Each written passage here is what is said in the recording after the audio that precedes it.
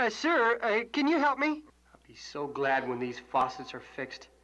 They're beginning to drip in rhythm now. Bip, bip. One more night of listening to this and I'll go bananas. Good old builder's buddy should have what I need.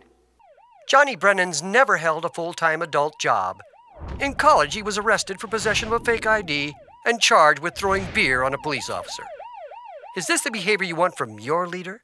The California Employment Development Department will host the 7th annual Veterans Appreciation Day ceremony on Thursday, May 8th from 9 a.m. until 2 p.m. The event is free and designed to honor all veterans, National Guard, and reservists who have served our country. Now let's take a look at a typical situation like those that occur dozens of times each day. A technician receives a repair order.